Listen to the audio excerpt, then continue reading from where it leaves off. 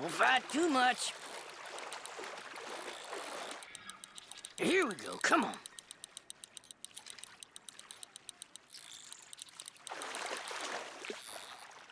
Damn, that's...